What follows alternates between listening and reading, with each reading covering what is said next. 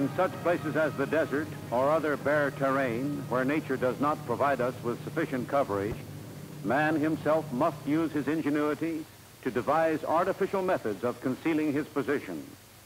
The most common of artificial materials used in camouflage is the garnished fish net. This consists of a supporting net into which strips of colored cloth called garnishing are woven. The ends of each strip of garnishing are tied to the net.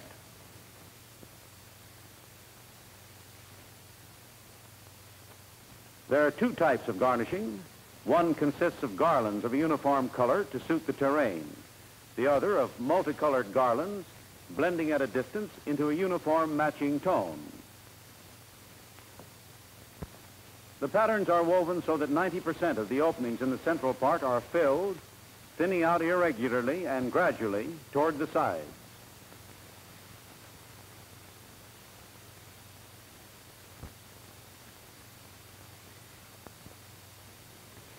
Fish nets are available in various sizes.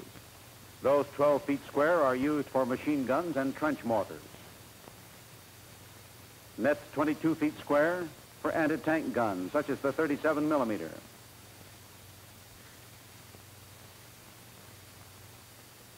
Thirty-foot square nets are used for light tanks and small vehicles. Nets 36 by 44 feet are designed for field artillery weapons and trucks. For artillery use, the net should be provided with a 12-foot slit in the center of one of the long sides in order to enable the gun to fire. Medium tanks require a 45-foot net for effective coverage. Fish nets are folded in a standard manner so that they may be quickly and easily unfolded even in the dark. First, the net is stretched out on a level piece of ground. The men take positions by the long edge of the net. The non-com in charge gives the command down. At the command up, the men raise the edge of the net in unison and carry it forward. The command down is repeated, and the men lower the net, hooking their fingers in the netting. When they lift the net, they take hold of the netting under, thus making the folds. This action is repeated until the men have reached the center. They then assemble on the other side and repeat the process.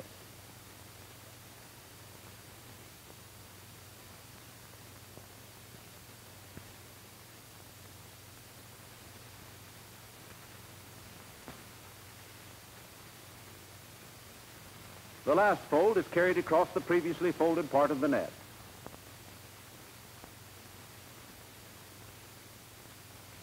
It is then stretched lengthwise. Men at each end fold in the last two feet, and then walk toward the center, making a flat roll of the net.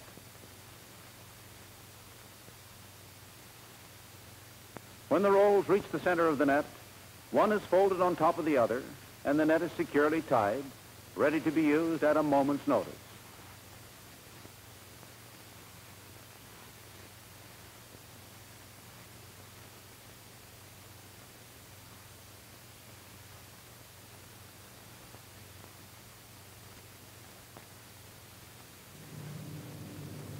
When the terrain does not offer natural concealment, the exposed vehicle is an easy target for the enemy bomber.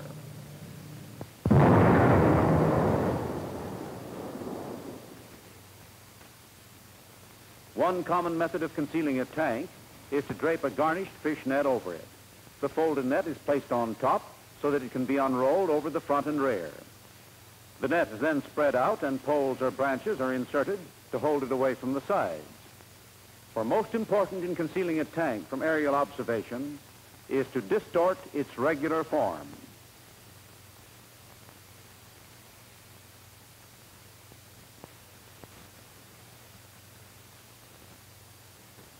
The edges are then pulled out and staked down at six or eight places in an irregular pattern to complete the drape.